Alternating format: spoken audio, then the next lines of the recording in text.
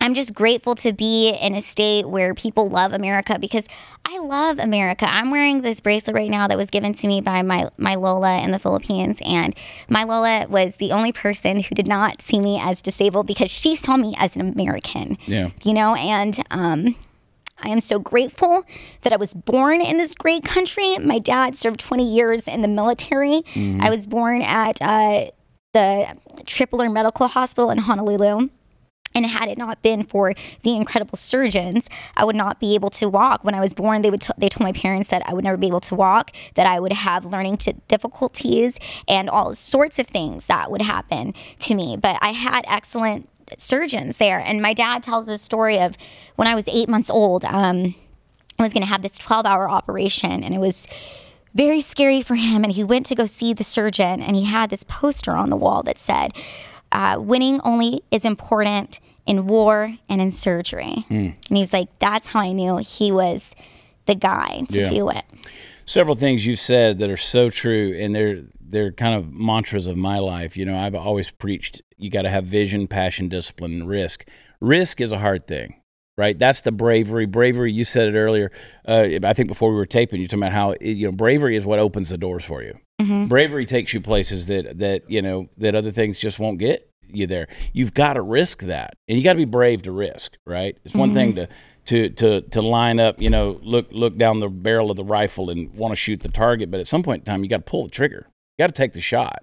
So you did and no pun intended when talking about the vaccination but you did take your shot and you got out of there and you're going to bloom here. I you know i keep saying one, I am the cowboy redneck Oprah. I can make everybody cry uh, in a conversation.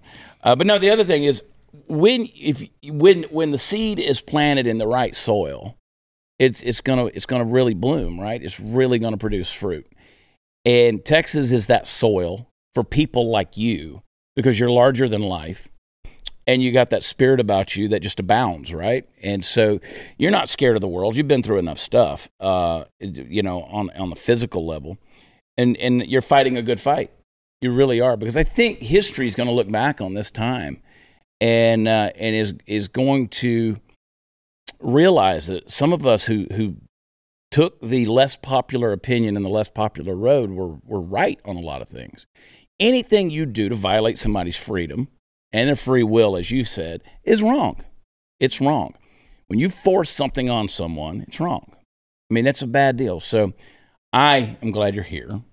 And um, I, you know, I always say people say, oh, there's too many Californians moving here. Well, there's a lot.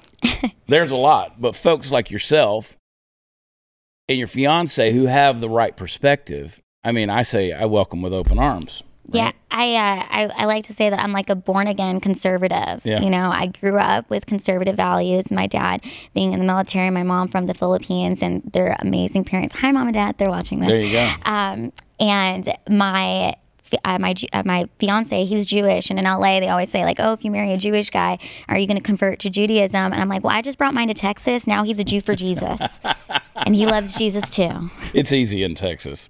Is it? yeah, that we will require.